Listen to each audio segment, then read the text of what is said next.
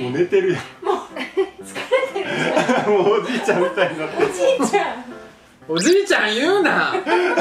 おじいちゃんの時も一緒に YouTube 撮るんだ最悪それ。まだ謝罪動画とか作ってんねやろ。な 年金も受給していないと言ってスーパーチャットを集めていたが実は年金は60歳から早めにもらってますんで もう趣味なんもないねんけど趣味。何？あります？趣味。香水集め前から言ってるやんか。香水いっぱい集めてます。まあじゃあそれは趣味として認めよう。あるでも趣味って趣味ある？ですか？俺結構あるよ。ピアノ弾いたり。なんかあれやもんな押し入れでドラムみたいに入ってな ピアノ置く場所ないから押し入れの中入れとってな夜な夜な押し入れの中に屋敷しもべみたいな。ドビーみたいな。でなんかさよくあのインスタに動画アップしてんねん。カメラの設置の仕方が下手なんかな。確かに音は出とってなええ感じやねんけど。ピアノそのもののガタガタ音みたいなんがな俺に趣味を作る企画やって。あみんなもなんかもっとワイルドな男らしい趣味にしてよ。こっちはモテたいのよ。裸の男お絵描き。裸の男限定なんやそれ。えだって普通に絵描けたら。だってだってその裸を用意させてでこう俺めっちゃ絵下手やねんちちなみに。なんか描いたろかマネージャーの顔。似てる気がするすごい。ちょっとでもまあ濃いかも。えー、いいかも。まあ顔顔ちょっと似てるかもしれない。えデクスデクスターだけどえ向いてへんねん結局。見てへんな。うん。何？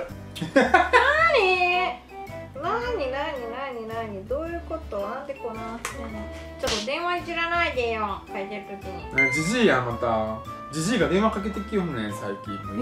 えおじいちゃんってこと？はい。違います。麻雀。いや行かないですよ。えそれ番号間違ってますよ。麻雀は行かないですよ。ミニストップで待ち合わせはしないですよ あの小原です。小原という私の番号です。うん。その方の番号は僕は知らないんで麻雀はしないです。どういうこと？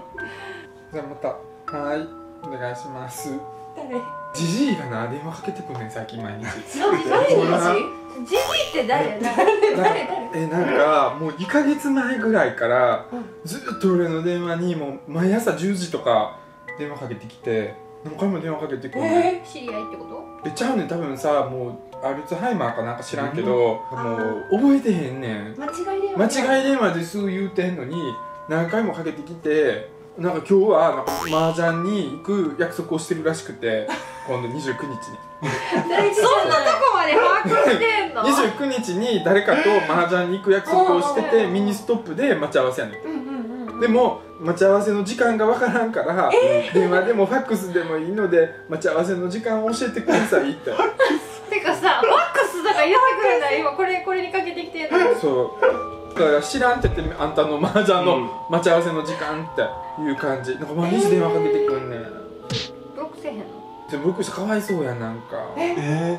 だって俺がブロックしたらさこのおじいちゃんさ自分の友達にブロックされたって思うんやであそうやそうアルツハイマーだった。らそう。えでも何じゃあ毎日その電話かかってくるのをなんか普通に話してんねんそう。えー、友達なってんじゃねえかよ埼玉のじいさん。そう埼玉県って出てくるんや。埼玉県出てあくる。それ自宅から電話ひらがなのかかってきてんのかな。自宅の。自宅の電話から。かけてくる自宅の電話。だからファックスやと思っとんちゃう。えてかさーかわいい。麻雀4日後やな。どうしようねえかわいそうに。もうもうさじゃあ次の企画さもうこのおじいちゃんとこう実際会ってその 絶対嫌や友達に合わせる企画やる。だって何回言うてもこの電話の中でももう忘れてんねん俺の言ってること。いえや小原ですって番号違いますよって言ってんのに麻雀麻雀行きますよね。29日に麻雀の約束してたんですけどって言うねん麻雀はすげえ覚えてんだね、いやでもねでもねあの自分も昔京都とかに住んでた時に住んでた隣さんがおばちゃんやったの、その8090ぐらいの。なんかさ仲良くなってでこう家に行ったりとか来てよみたいな。なんかすごい寂しがってたの。うん。でめっちゃ仲良くなってその今もう10年以上経ってるけど今も連絡来るねん。へで連絡来た時に結構長電話されるのよね、うんで同じ話そのおばちゃんはずっと全く同じ話を言うんだけど「お姉ちゃんはいつ帰ってくるの?」みたいな話今でも来る。えでもそのおばちゃんなんかずっとそな。の仕事もしてる洋服とかあ編み物じゃないけど作ったりしてる。なんか料理作るためのこうつけたりするやんか。なんていうのあれ？エプロンエプロンエプロンやばいあ私ダメ大丈夫？かもしれない。おばあちゃんとええ勝負なんちゃう？ん実は。でも作ってる90代ぐらいなのに自分でずっと作ってるいやすごい。すごいね。そうでもなんかかわいそうなのやっぱなんか一人だから子供とかもたまにしか帰らないみたいな感じで、本当はめっちゃ寂しいねんなんか来てほしいんだけど、なんか多分私のことを孫みたいな感じで思ってるけど、うんだから結構おじいちゃんももしかしたらなんかもう寂途中寂しいなと思って。あれもう分かってるけどなんかあれ分からんふりして喋ってんの。喋っておい小原さんは優しいから毎回出てくれると思って。